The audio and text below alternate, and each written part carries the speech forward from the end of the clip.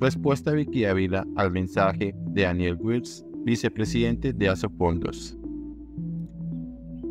No, doctor Wills, vicepresidente de Asofondos, no confunda ni sea tan machista diciendo que no conozco el sistema.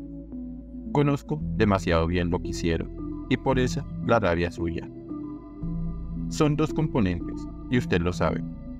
Por un lado, el del 0,7% de las comisiones sobre activos bajo administración que representa una cifra billonaria.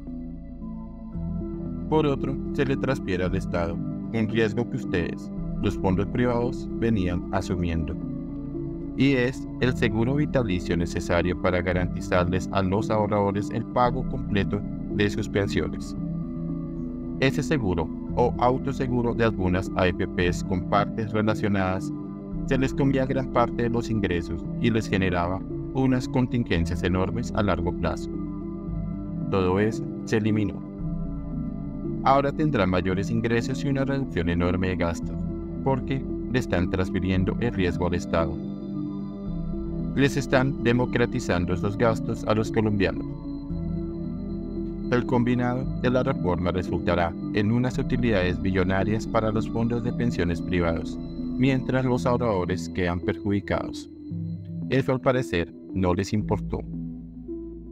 Cuando quiera, lo invito a una entrevista para que le pongan la cara al país y les expliquen bien a los colombianos lo que negociaron.